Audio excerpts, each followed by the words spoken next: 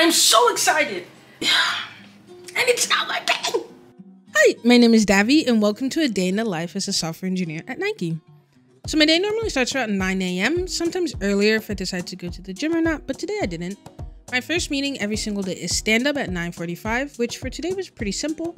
You talk about what you did yesterday and you talk about what you will do today and if you need any help or anything.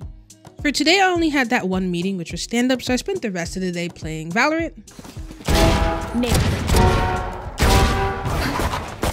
enemy remaining. Oh Spike down A.